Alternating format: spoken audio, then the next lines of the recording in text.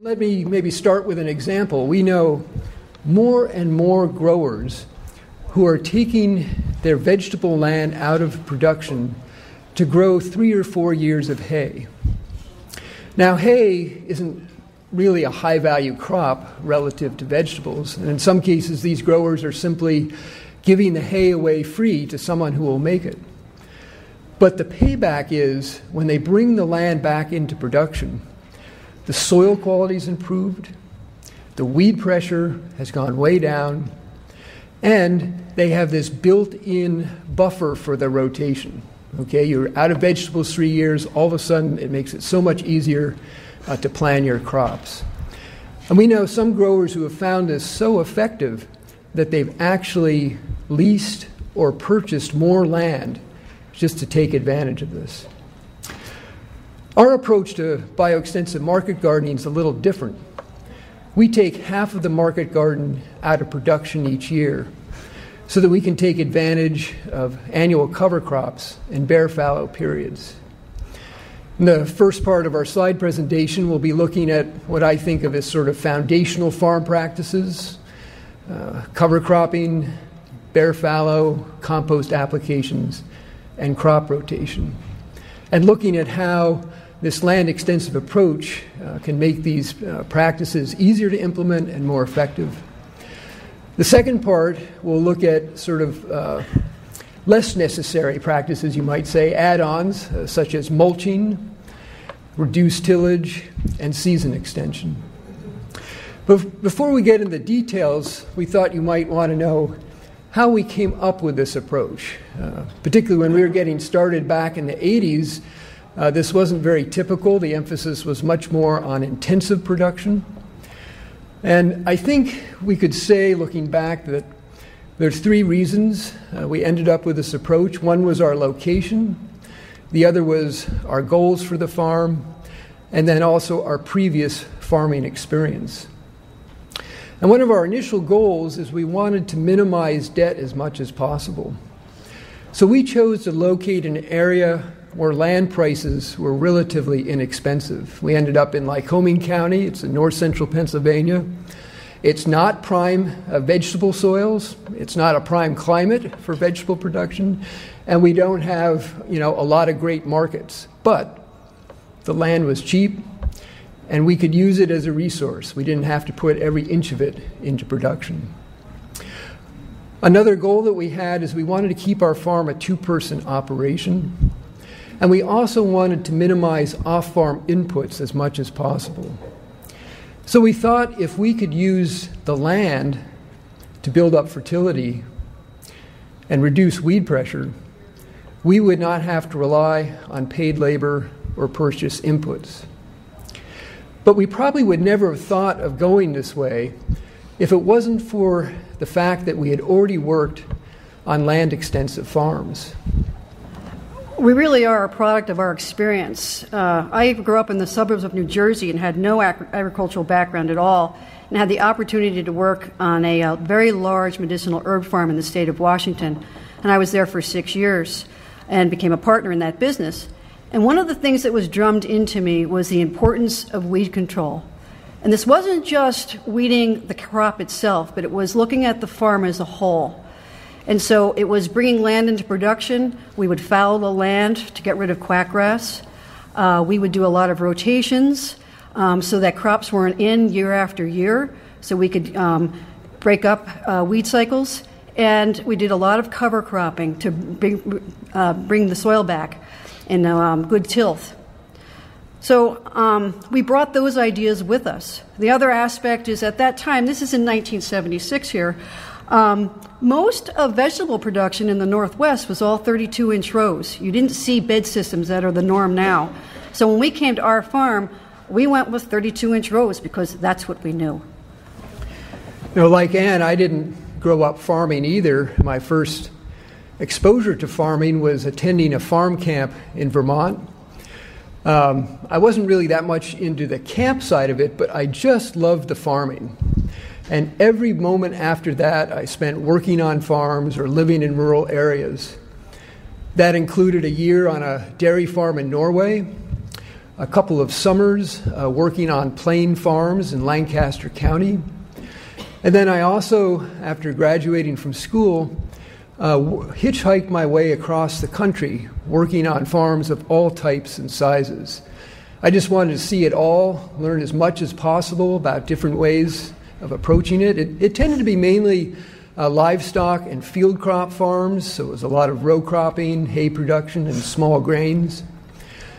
And about a year into the journey, I ended up at a large medicinal herb farm in the state of Washington and was hired uh, to join a crew of Mexicans weeding a 40 acre field of peppermint. One of my jobs was the crew boss for this crew of Mexicans. And these guys were professionals. They knew what they, you know, were doing. They taught me so much over those times. And oftentimes we would have people wanting to come and visit this beautiful herb farm and want to help us out in the gardens. You know, you know the nice raised beds, and there's just this idyllic situation, not realizing they're coming to 40 acres of peppermint, half mile long rows, and that's what you did, walk back and forth, and you weeded. Um, and so the the general rule was that we would allow the visitors to help us in the fields, but we would mark their row because oftentimes they weren't the best workers in the world. So when they left and we thanked them, we would come back the next day and do their row over again. So Eric was with the weeding crew, and at the end of the day, one of the guys comes up to me and he says, El gringo es bien trabajador, no sacates. Which means, you know, hey, the white guy, uh, he's a good worker. There aren't any weeds in his row.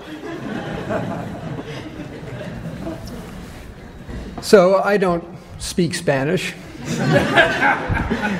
had no idea about Anne's surveillance system, but uh, I realized I must have done okay because at the end of the growing season, I married the boss. And as long as he remembers his boss, everything goes just fine. And we've been married for 30 years, so I guess he knows his boss.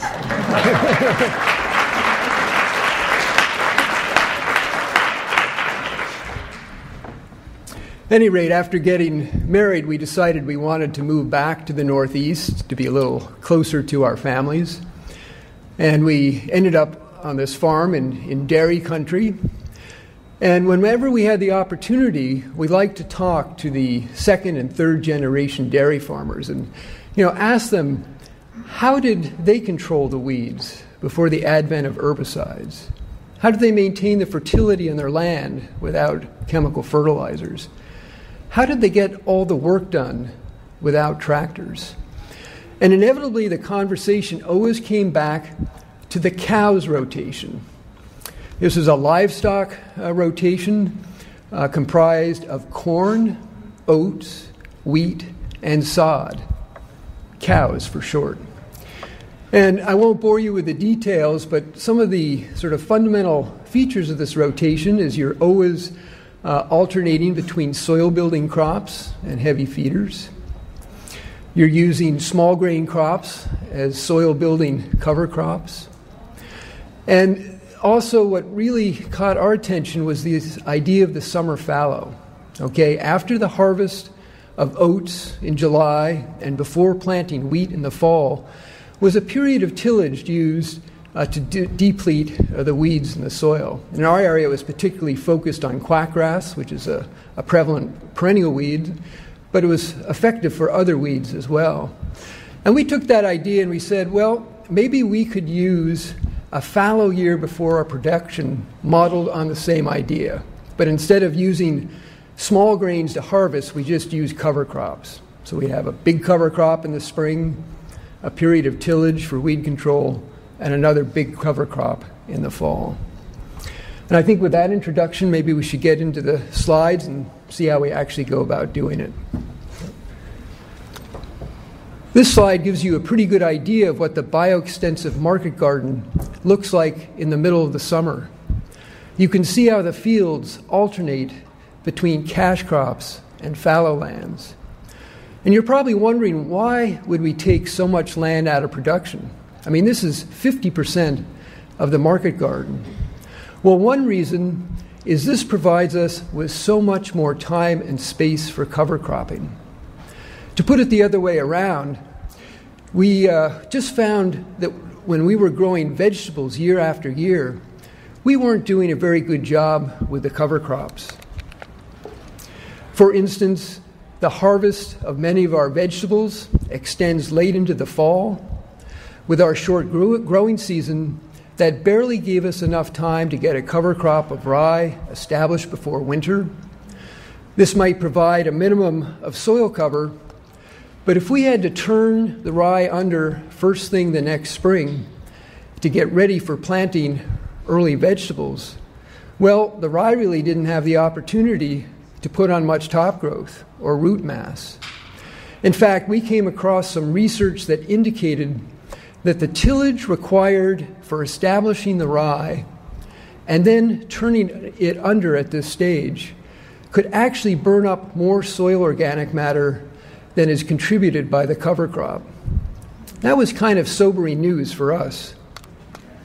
Um, yes, if we let the cover crop get big enough to provide a net gain in soil organic matter, well, then we lose our opportunity to grow spring vegetables. Also, as beginner farmers, this looked really daunting to deal with all this biomass. I mean, how are we going to turn this under, make a nice seed bed, and not create a nitrogen tie up from overloading the soil with too much carbon? Once we started taking land out of production, all of these challenges just seemed to disappear. We could allow the cover crops to get as big as we wanted, and then there was no time pressure to turn it under and create, create a seed bed because the vegetables would not be planted until the following year. This also eliminated the concern uh, with nitrogen tie up. But probably the biggest advantage of taking the land out of production for a whole year is we had plenty of time to grow a second substantial cover crop. In this case, uh, oats and peas planted the beginning of August. Going bioextensive makes it possible to grow two substantial cover crops before every cash crop. When planted in early August, spring annuals like oats and peas put a lot of top growth on in the fall, and then they die back over winter, creating a nice mulch that protects the soil. Because the root system is already dead, these winter killed cover crops are very easy to incorporate in the spring, allowing you to get in and get the earliest planted cash crops planted on schedule. This fallow system um, allows us to maximize the growth of the cover crop even before the earliest spring plantings. The fallow year also allows us to maximize the root development of overwintering cover crops. For example, this uh, rye and hairy vetch was planted the second week of August, and you can see how much top growth it's already put on even before the leaves have started to change color in the fall. This is a much different scenario than just trying to slip in a cover crop after the harvest of fall vegetables. What you don't see is the tremendous root growth underground. These overwintering cover crops are like an iceberg, putting most of their energy into root development at this time of year. So even if we have to turn under the overwintering cover crops early the next spring before they've had a chance to put on much top growth, that rye and hairy vetch has already accomplished a significant amount of soil building underground. These uh, crops, like these storage potatoes, seem to appreciate the improved soil structure and the fertility. Now, keep in mind that we're growing not just one, but two significant cover crops before each cash crop. This alternating fallow year system also allows us to take advantage of long term cover crop mixes. And one of the combos that we've really grown to like is this mix of sorghum Sudan grass and medium red clover planted around the middle of June. The heat loving sorghum Sudan grass really takes off with the hot weather. It can produce a tremendous amount of biomass in fact, we usually need to mow the sorghum Sudan grass two or three times over the course of the summer to keep the residues somewhat manageable and succulent. Otherwise, it can grow over 10 feet tall and get as tough as corn stalks. Research conducted in New York shows that when you mow this drought hardy cover crop at this stage, it encourages it to put its roots deeper in the soil, alleviating compaction.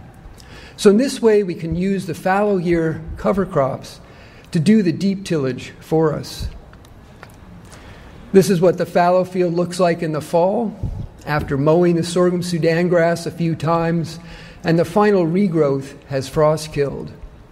Meanwhile, the clover in the understory has completely filled in, creating a nice weed competitive uh, cover crop uh, to hold the soil over winter. The following spring, this legume produces a fair amount of high nitrogen material before turning it under in May. This is a nice balance to all of the high carbon material produced by the sorghum Sudan grass the previous summer.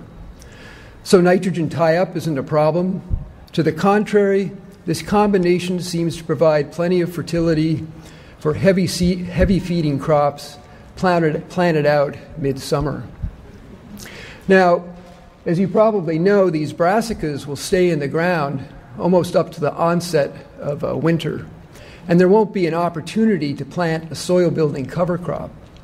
But we are not really that concerned because we know the whole next year will be out of production. We'll have plenty of time uh, to use the cover crops for soil building. Taking 50% of the market garden out of production not only facilitates cover cropping, it also makes manure and compost management much easier. Uh, that's because we can take care of these inputs a full year ahead of production rather than trying to just deal with it right before we're planting the vegetables. For example, if um, we want to use our small flock of laying hens to debug and fertilize the market garden, we can pasture the hens on a fallow field. In this way, we can easily meet the National Organic Program's guidelines um, because we're applying that manure a full year ahead. Our primary source of fertility is the manure generated by our workhorses, and then it's con- then composted by the uh, pigs. Although the hogs produce a really nice quality compost, it doesn't meet the NOP guidelines. Uh, but that isn't a problem when we apply the hog composted manure to the um, fallow fields. In this case, we're applying that compost in between two cover crops in preparation for our early planted cash crops of onions, like you see in the background.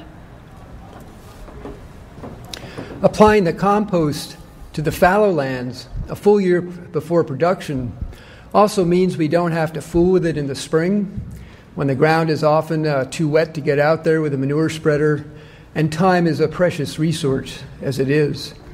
In addition, when we apply the compost now, it allows it to stimulate the root growth and the top growth of the fall cover crop of field peas. And this way, we can amplify the soil building effect of a limited supply of compost.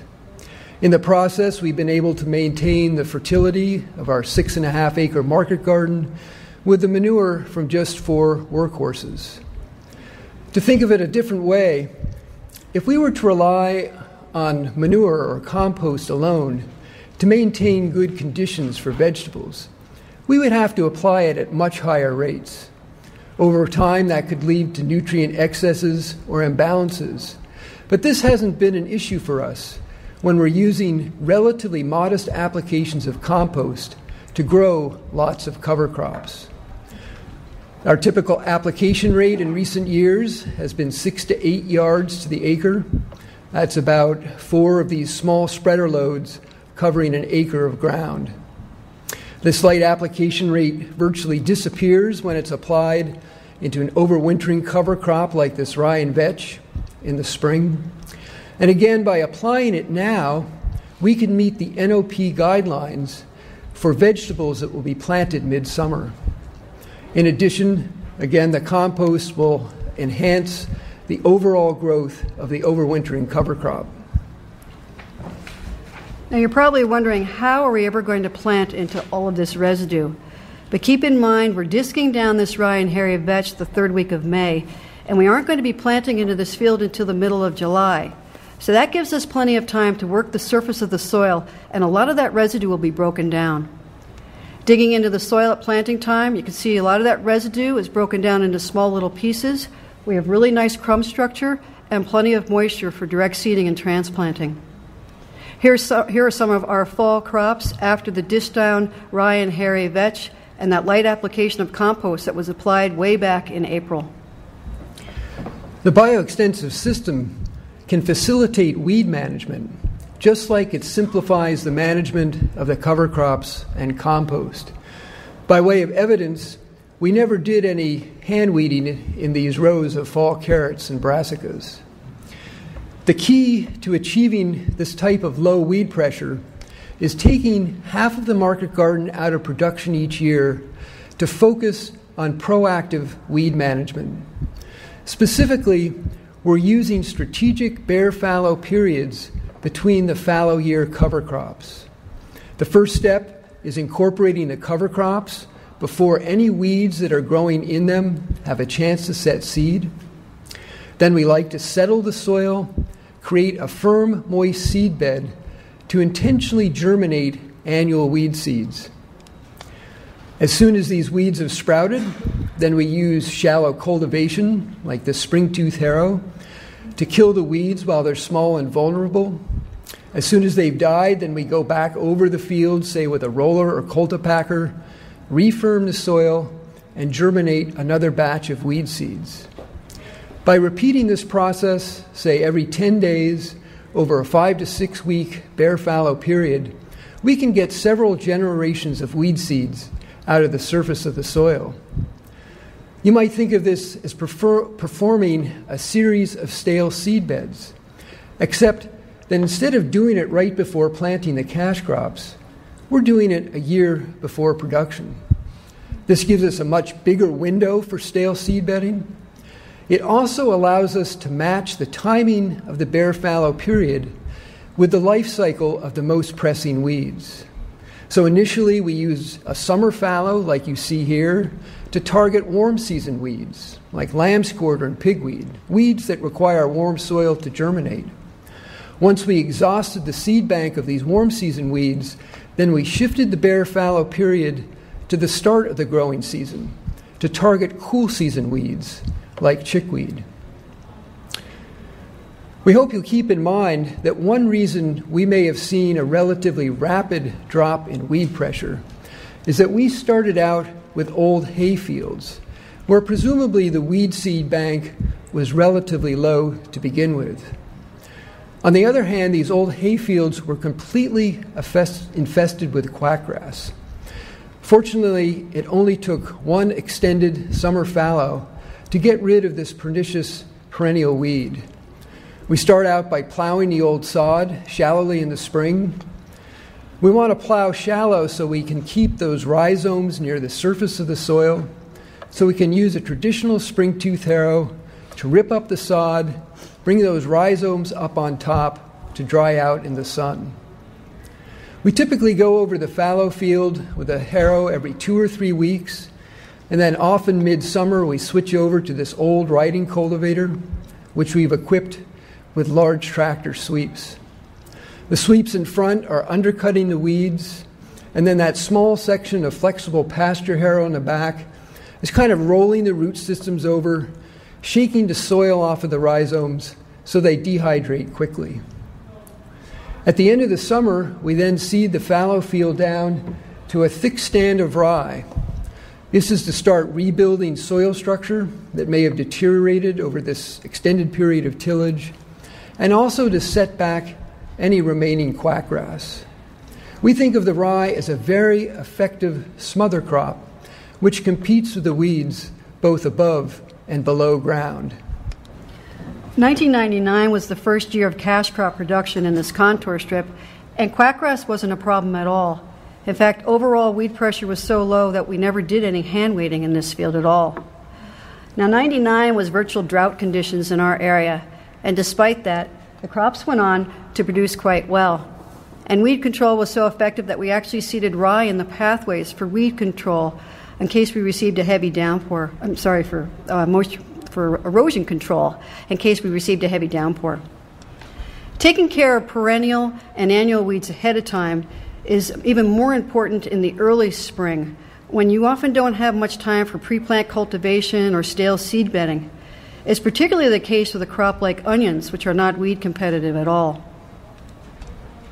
Uh, this slide was taken uh, the beginning of July, and at this point we hadn't done any hand weeding at all in this half acre field. Now it's important to remember it's the management of the fallow fields on either side of the onions that's providing the weed control, not what we are doing during the cash crop year. Over the years, we've reduced weed pressure to the point where we now routinely use living mulches to protect the soil. In this case, we've seeded a single row of hairy vetch in the middle of the pathways around the 15th of June. And by the beginning of August, the uh, vetch has spread out and provides about 80% soil coverage. This is really a benefit in extremely wet years, like this um, uh, slide taken in 2003 or like this past season. This bioextensive system works well for making it easier to implement uh, cultural practices in the field, whether we're talking about cover cropping or composting or stale seed bedding. But we also think that planting the vegetables every other year can simplify the record keeping and crop rotation planning that takes place in the farm office. So, for example, when we bring this onion field back into vegetable production in two years' time, the only thing we need to worry about is not planting anything in the allium family. Okay, no onions, no leeks, no garlic, no shallots. Everything else is fair game. That gives us a lot of options. We could follow the onions two years later, say with a field of lettuce and spinach. Two years after the lettuce and spinach. All we have to think about is not planting anything in the lettuce or spinach family. If we needed to, we could put the field back into onions because now we would have a four year break before alliums had been planted. And that's sort of the minimum uh, break for a horticultural crop rotation. In fact, because the bioextensive market garden spreads out vegetables over time and space, usually we would not go back into onions. It might be six, eight, or even ten years before a field would see alliums again. So after the lettuce and onions, we'd probably go into another plant family, like these potatoes. We have to admit that record keeping was much easier during our first years on the farm when we primarily wholesaled all of our produce. That's because we would put a whole field in one plant family a whole field of onions, whole field of lettuce, whole field of potatoes. Now that our business is almost entirely direct marketing, we grow a much greater diversity of crops in smaller quantities. So instead of a whole field of potatoes, Half of it might be early potatoes and the other half garlic, with a few rows of peas thrown in uh, to fill out the field. Or we might have our last planting of carrots sharing the edge of a field with a couple of rows of leeks. To make matters more complicated, we grow successive plantings of lettuce and spinach all season long, and often we interplant these short term crops with longer term vegetables. So our mid uh, season succession plantings of lettuce and spinach might get interplanted with squash and peas, like you see here. Or our fall successions of lettuce and spinach often end up in alternating rows with brassicas. Despite the added complexity, rotation planning is still very straightforward. When we bring this field back into production two years, the only thing we need to worry about is not planting uh, lettuce, spinach, or brassicas. We think this sort of simplicity and flexibility is so essential for small scale vegetable production because, like every grower, we're constantly adapting our cropping plans to changes in the weather and marketplace. Before we look at how mulching, reduced tillage, and season extension can benefit from uh, this land extensive approach to market gardening, we thought we should stop and see if you had any questions or comments about what we've talked about so far. Any questions? Yes. The question was How large is our farm and who are we marketing to? Um, the whole farm is about 89 acres. Uh, 30 of that is in woods, and a lot of it is in pasture. Um, the acreage that we are growing on, there's about seven and a half acres managed for vegetables, and half of that is in vegetables, so three and a half acres, something like that.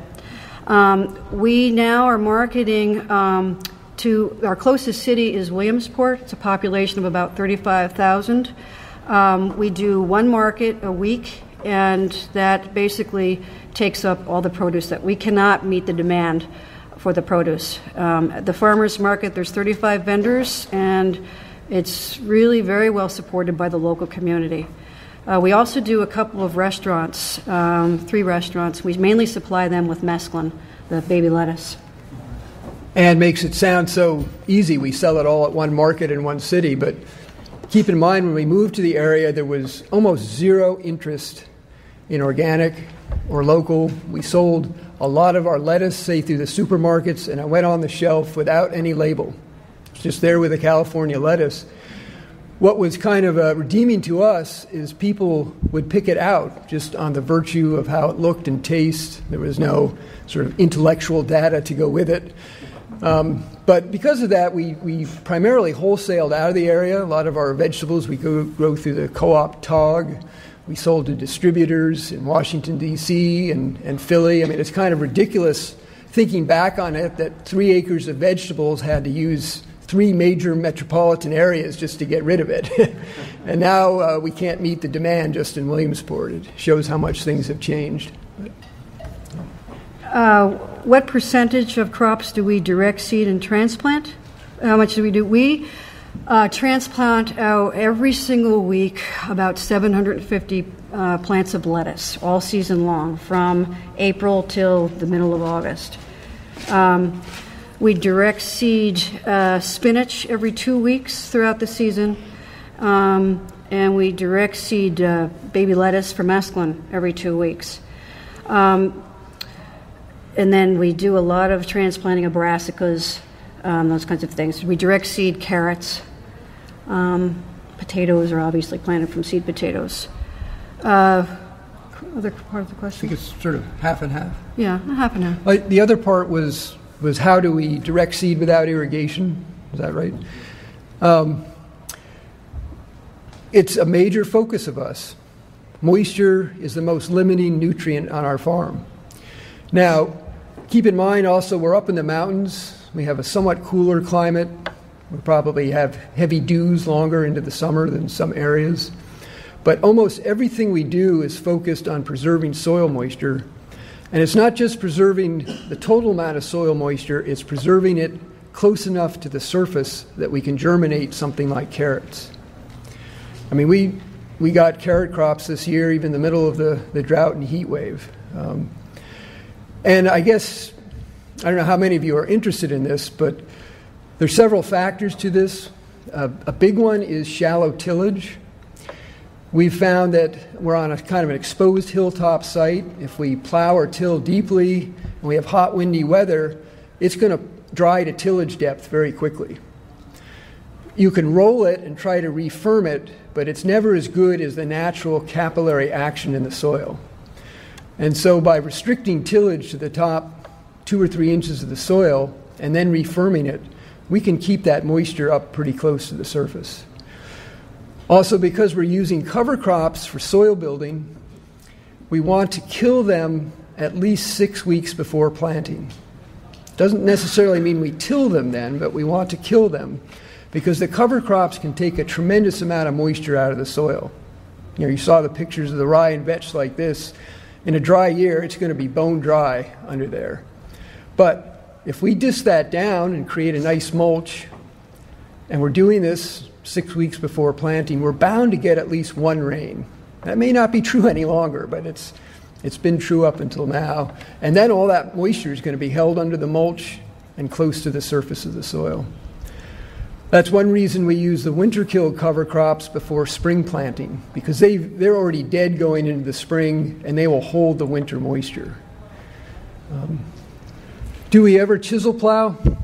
Not in the sense of uh, tractor chisel plowing uh, going, you know, whatever, 12 to 16 inches deep. That's Possibly you could do one tooth with a team of horses, but it's awful hard to make the next pass amount to anything. Either it's going to slide into that slot or you're going to be three feet away. So you can kind of make rough slits in the soil, but you're not really chisel plowing. We do, uh, I don't know how to explain it, set up cultivators, so there might be just uh, widely spaced teeth with sweeps that have kind of a sh- shallow chiseling effect. They're kind of loosening and uprooting the soil rather than inverting it with the plow. Yeah. And we'll show you in the second part some of the work we're doing with no till and ridge till and other types of minimum tillage. Yeah, great questions.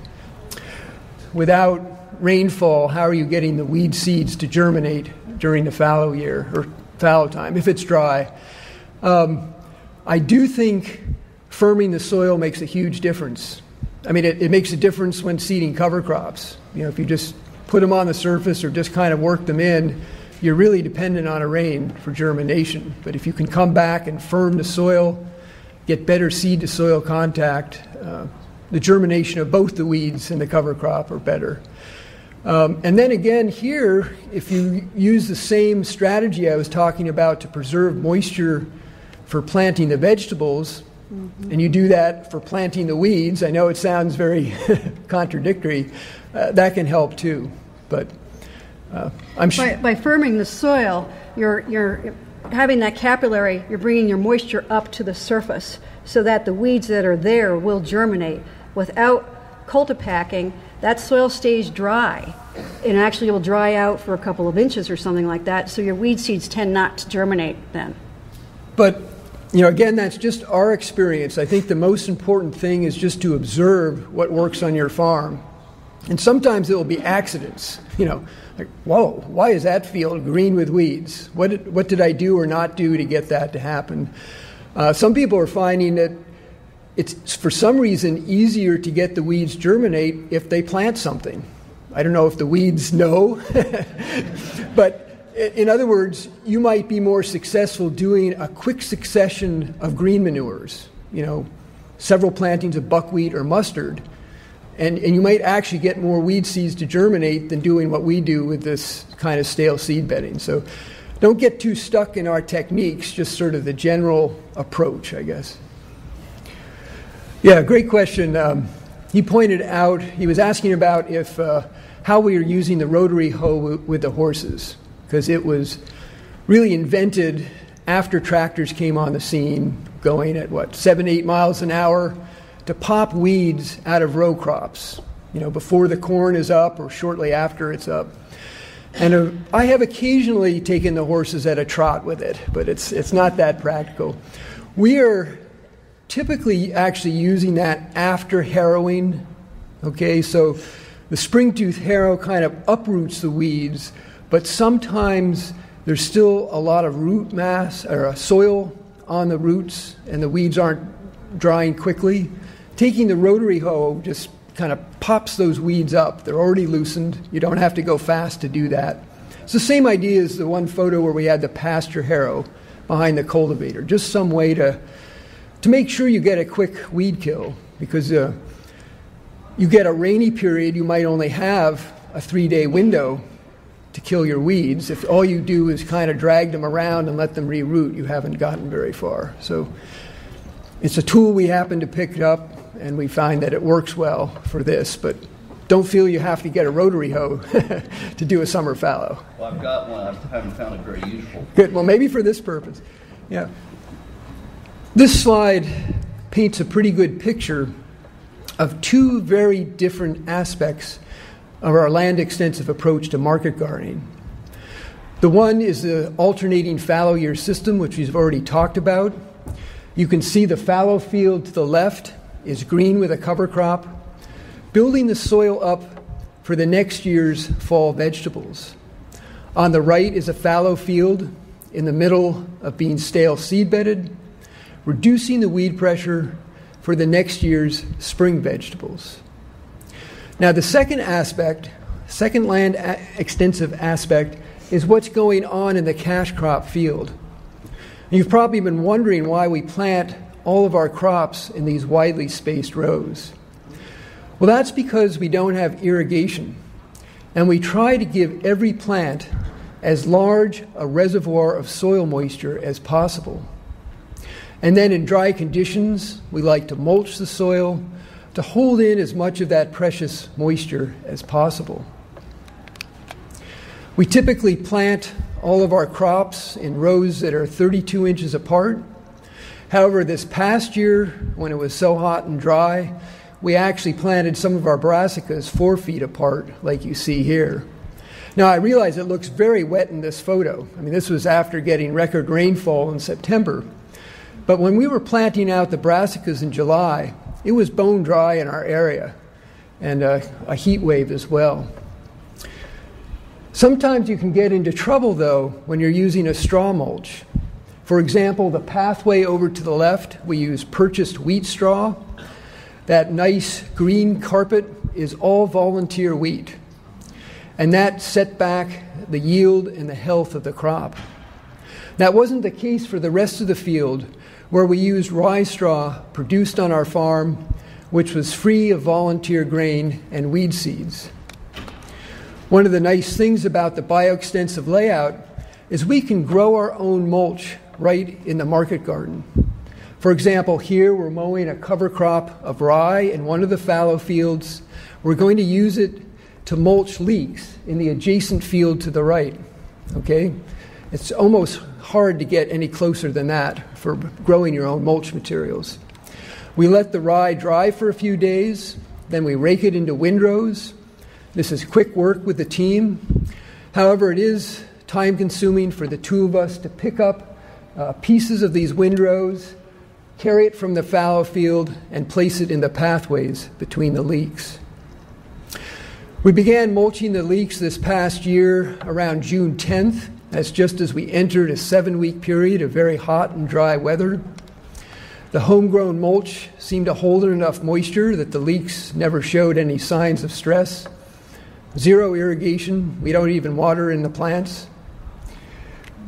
we started receiving some rainfall in August and cooler temperatures, and the leeks went on to make a, a decent crop.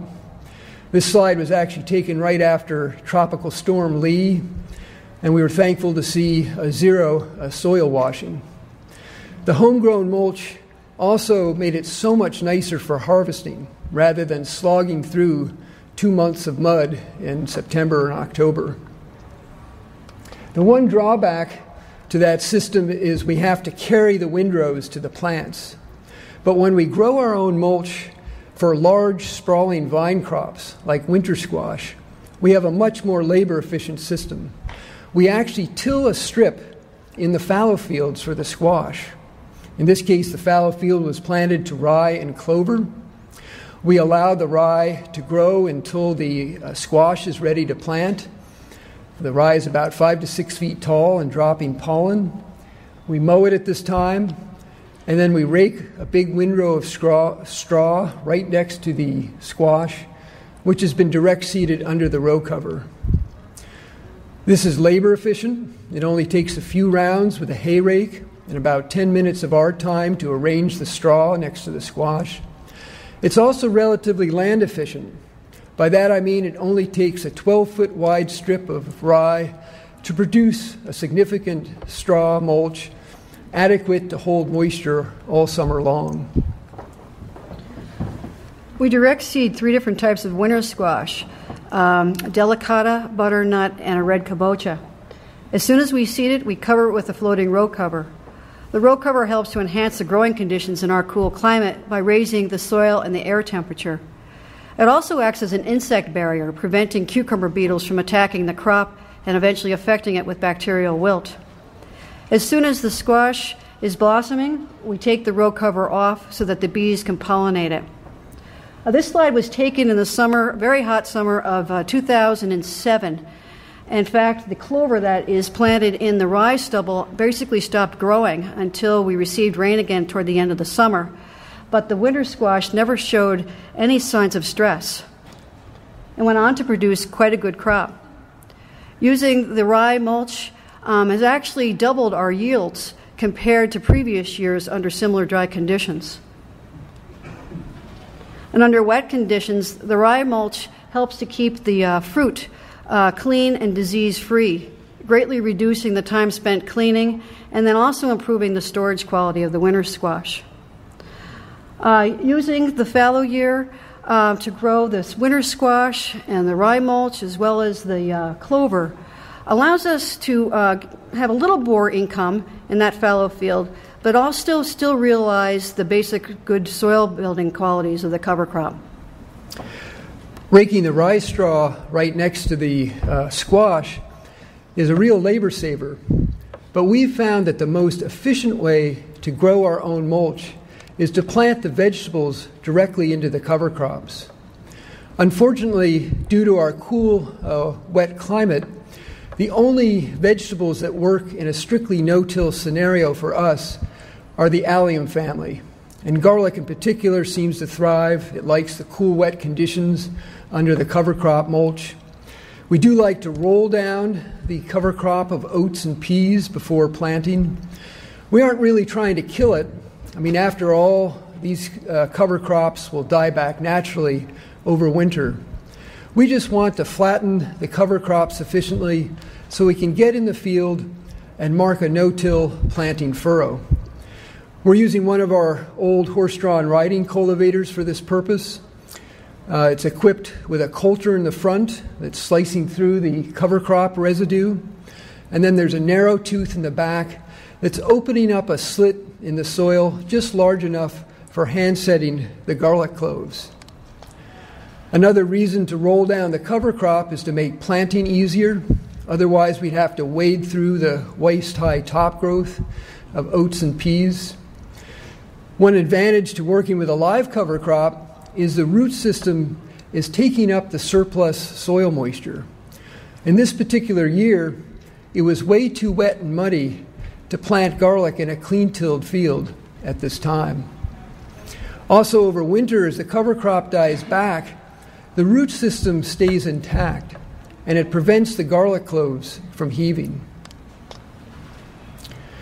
The cover crop residues decompose fairly quickly in the spring, so we find it necessary to add some additional straw mulch just in the pathways to preserve uh, moisture all season.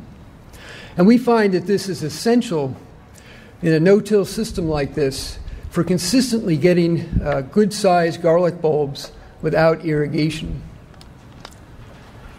Up close, you might be able to see the cover crop mulch remaining around the base of the garlic, and then the straw mulch that's been added in the pathways. You may also notice that the garlic is growing up on a, a low ridge. And this little bit of elevation we think is really necessary for a no till system in our area. It provides that little bit of added soil warming, aeration, and drainage uh, to get, get consistent results.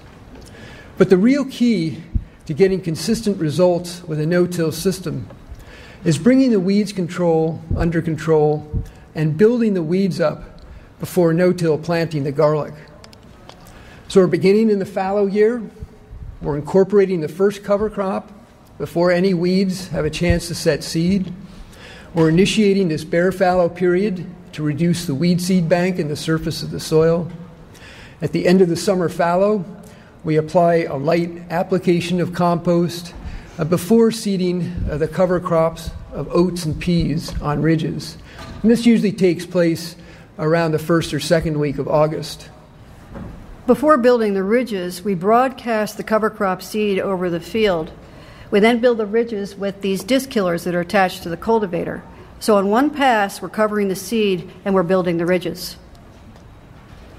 We follow right behind with this cultipacker that firms the soil so we get better soil to seed contact. The roller also um, levels the ridges so that we end up with mini raised beds that makes planting the following spring much easier than trying to plant on a steep ridge top. Nine days later, you can see the oats coming up on the ridges. Because the disc hillers concentrate all of the oats onto the ridges, you'll also notice that we've seeded a single row of oats in the middle of the pathway for added soil protection. We just use a walk behind seeder for this job. By the third week of September, the oats have completely filled in the field. Um, this is this past season, And uh, we received record, uh, I think it was over 12 inches of rain through the month of September, and there was absolutely no evidence of soil erosion, even though at times there was water running around and over our fields. Just as important is the cover crop ridges create ideal conditions of uh, warmth and aeration for soil building. Digging into the ridge, you can see there's a nice crumb structure developing as a result of the cover crop's root system and also the soil life working on the decomposing organic matter from the previous cover crop. It's important to build the soil biologically ahead of time because we won't have a chance to do intensive tillage the following spring in order to create a seed bed. Uh, a month later, uh, the oats have basically doubled in size. Uh, this is the point where we would uh, flatten down the cover crop and plant the garlic. However, for uh, early spring plantings, we allow the oats to die back naturally over winter. Uh, no tilling works well, uh, planting into this dead oats for crops like onion sets, shallots, or flower bulbs. But for uh, direct seeding or transplanting, we find it's necessary to lightly till the ridge tops. The best way we found to do this is to go over the field and chop up the dead oats into small pieces using this custom built uh, residue cutter. It's just a series of coulters attached to a uh, axle. We then go over the field a couple of times with a rotary hoe. It does a good job of loosening and crumbling up the soil, uh, the surface of the soil, which can sometimes form a crust over winter. Um, it also, the other benefit of the uh, rotary hoe is that loosened up soil um, makes all the difference in maintaining moisture and holding it until we're ready to plant. Another benefit of the rotary hoe is it sheds a lot of that residue into the valleys without breaking down the ridge top. Um, what we end up with is a nice mulch pathway and then a narrow bed of clean soil on top of the ridge for planting. For transplanting, we just mark a, right, mark a row right up on top of the, of the ridge top and the soil conditions are just perfect for hand planting. The only tillage that we've done is rotary hoe a couple of times, only going an inch or two deep. And um, we just really feel this form, of, uh, this form of minimum tillage is a great way to maintain soil structure as well as soil moisture. It also works well for direct seeded early planted crops like uh, spinach or cutting lettuce. But again, we need to emphasize how critical the fallow year of um, soil building and weed management is to make a, a system like this uh, minimum tillage work for us and to be dependable and productive. We should also point out that the residue that's shed into the pathways provides adequate mulch um, for early planted short term crops. But for longer term crops like the garlic, it is necessary to mulch the pathways to maintain soil moisture all season long. I suppose it goes without saying that a mulch made from winter killed cover crop residues wouldn't last long enough for fall crops planted out midsummer. If we're facing dry conditions, then we'd apply a straw mulch in the pathways like we showed you earlier. But if soil moisture is plentiful, then we're more inclined to use a living mulch. In this case, we've seeded a single row of hairy vetch in the pathways between these alternating rows of brassicas and lettuce. We typically interseed the vetch about a month after transplanting the cash crops. Again, we just do this with a walk behind seeder. This is so much faster and easier than applying a straw mulch by hand. By the time harvest is in full swing, we usually have a nice carpet of vetch covering the pathway. This is good for soil protection on a sloping field like you see here. I don't want to give you the impression that a living mulch will hold moisture the same way that a straw mulch does. But what we like about this single row interseeding system is the roots of the vetch are concentrated in the middle of the pathway. So they're not likely to compete with the cash crop for moisture or nutrients. Over winter, the vetch kind of withers back, and then it starts growing again in the spring. And we have two options here as we begin the fallow year. If the field has a lot of winter weeds in it, we will turn under the vetch and begin a bare fallow period to target cool season weeds. But if weed pressure is low, like in this field, then we just lightly till the bed tops, get rid of the smattering of weeds that are there, and work in uh, the residue from the previous year's cash crops.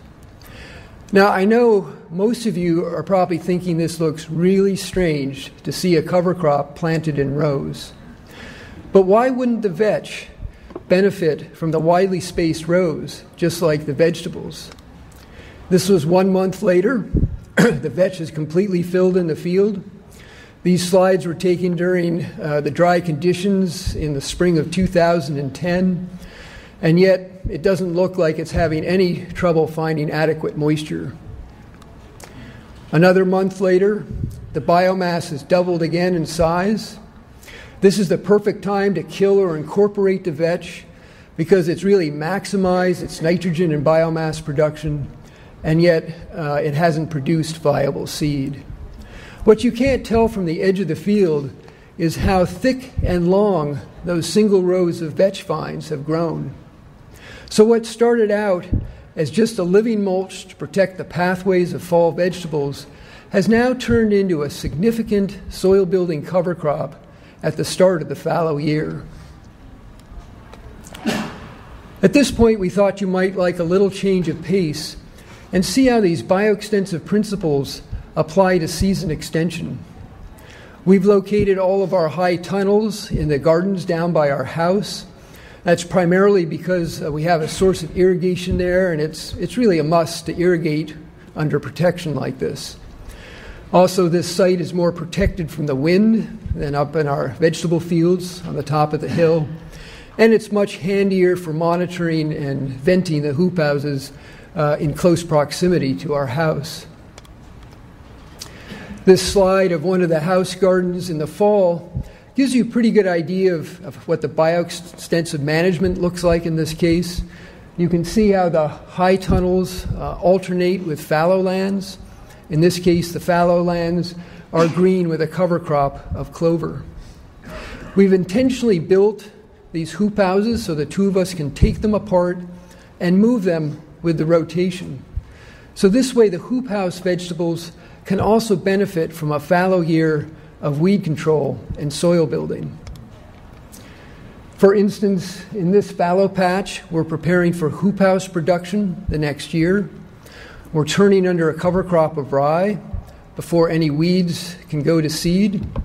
We're initiating a series of stale seed beds to reduce the number of weed seeds in the soil. And then at the end of this summer fallow, we seed the fallow patch down to a cover crop of peas. In this case, it's actually a mix of field peas and cow peas planted the end of July. That extra early planting date uh, means they put on their biomass early and they also die back early as well, generally with the first high, hard freeze. So, already by the time uh, Thanksgiving comes around, we're able to move the hoop houses directly on top of the dead pea mulch. This way, we're ready to go the next spring uh, for early production. We also want to point out that moving the tunnels is not only good for weed control and soil building, but we also avoid the buildup of nitrates and salts that can sometimes develop in permanent structures. Uh, to move the hoop houses, we just carry over the 4x4 sill beams and place them 12 feet apart. We then drive rebar down in holes that have been drilled into the sill beams. The 20 inch rebar is easy to get in and get out, but at the same time, it anchors the, anchors the structure enough so that it doesn't fly away in a stiff wind. We leave about four inches of rebar sticking up above the sill beam and then just slip the hoop over the top. We carry the uh, hoops over um, in 20 foot sections, leaving the ridge pole attached, and then just reconnect them at the top with a coupler. What we end up with is a 12 by 60 foot hoop house that took us a couple of hours to move, and the cost of the materials are under $300. The following spring, the dead oats is really easy to rake off, exposing a nice mellow soil. We rake the um, oat, or the um, pea mulch outside of the uh, sill beams so that to mulch the pathways so it protects the soil from the runoff from the hoop house. We then put the greenhouse plastic on, apply a little compost, lightly till the soil, and we're ready to plant. And even in our cool climate, we're usually ready to harvest greens by the beginning of May. Whether it's intensively planted hoop house production or dryland vegetables in the field, taking land out of production just makes it so much easier for us to implement good farming practices. If you're interested in more uh, details on this system, we put together a booklet of articles and a DVD which you can use for review. I believe they're on sale at the PASA booth, and a percentage of those sales go to support the organization. Uh, you can also order them from us uh, through the address in the back of your brochure. But I think most importantly, we'd like to see if you have any more questions or comment, comments. Do we have a few more minutes, Dave? Yeah, we're good for about 10 minutes. About 10 minutes, great. Yeah. Uh, also, most of you have picked up a Small Farmers Journal, but there are some in the back that the uh, publication they sent us these boxes to give away as gifts for you. So if each one of you want a, a Small Farmers Journal, you're welcome to it. How long do we get out of the 4x4 sill beams? Uh, we are using inexpensive hemlock lumber, which holds up reasonably well, but I would say they last anywhere from five to eight years. Okay, and they're very. It's a softwood, so it's easy to work with. If you had cedar or something available, it'd probably last a long time. The question was uh, share our experience with tillage radish. Um, I think the expert is here. Is Charlie White here? He's, he's running trials on the tillage radish, but we do have a, a trial out this fall uh, using the tillage radish in our ridge till system. And I should actually say we tried this, I don't know, maybe four or five years ago, seeding the tillage radish in the valley and then oats on the ridge. And the idea there is, you know, the tillage radish makes this big long root, and when it decomposes, it leaves holes in the soil. And we thought, well, in the spring, any water running, excuse me, off the ridges would just go down those holes instead of running off the field. Um, it actually wasn't as good as an oat cover, okay, because the, the tillage radish suppressed the oats in the valleys, and once they decomposed, we basically ended up with a bare valley and protection on the ridge top. This year we reversed it. We have the tillage radish on the top of the ridge and the oats protecting the pathway. And we're very excited to see if that will um, give us you know, a chance to get in and no till plant as early as possible and get some good nitrogen release. Uh, one observation that we made uh, just yesterday, we were up in the fields with a shovel just looking at crumb structure. This is what we do for entertainment. And um, the oats and the clover had a very nice crumb structure, but I hate to say is the, um, the tillage radish was a very dense soil. Um, so there's not that kind of, you know, little root system all over building up the crumb structure at this point. So it'll be very interesting to see how things do in the spring. Yeah, it's a good question about integrating the, the animals in the rotation. We um, do not pasture the horses. And there's two reasons for that. Well, I guess there's three. Um, they're fairly big animals, so if they're out there in wet weather, they could cause some compaction. Um, they also have a tendency of concentrating their dung in certain areas, so you're going to sort of concentrate the fertility of the field in certain spots. You know, sheep would be much more applicable from that point of view. Um, and the other is, is, mainly logistical. Our barn is at the bottom of the hill. We would have to run laneways all the way up to the top through the, our deer fence, around the roads to each cover crop strip. So it, you know, if we were desperate for pasture, yes, but we have so much hillside pasture for the horses, it's just not worth fooling with it. But we do know uh, of farmers who are using sheep in this bioextensive layout and also uh, pastured poultry. And uh, we used, as you saw on the one slide, uh, pastured poultry for quite a few years. Our interest was in using them for getting out slugs and grubs because we're using all of this cover crop mulch. We're creating good habitat for those kinds of bugs. But again, it's sort of a logistical thing to let them out every morning, close them up every night, and it's not in close proximity to the house. The, the questions about the record rainfall this past year, and we did not get as much as some areas. I know uh, some areas had double the amount of rainfall that we had. Yeah. Yeah, we had seven and a half inches in a week's time, uh, where people just south of us had 14. Um, also, the way our farm is laid out, it's up on top of a hill, and if we flood, everybody's underwater. Um, but you know, seven and a half inches of rain is, is seven and a half. You know, it's a lot. It was a lot. Um, and because we do so much cover cropping and mulching of our pathways, I mean, for 25 years, we have been really concerned about soil moving. You know, that is a big focus of us. So we have those systems in place so that we, you know, we didn't see, you know, there was a little bit of running. I mean, because our fields aren't perfectly level, so you'd have, you know, even a little bit of washing on a cover crop that came off the field, but there was virtually no soil erosion. We did have some disease issues um, in our vegetables. I mean, I've never seen this before. Um, we had, we grow, I don't know how many varieties of lettuce, and I would say 90% of them rotted in, in a two week period. I mean, they just turned black. Um, they look perfect, and two days later, they're gone. Yeah, the question is have we seen a buildup in slugs with the minimum tillage? And um, I mean, it's always hard to know what's going on with the bugs, but I, I do think it can aggravate it.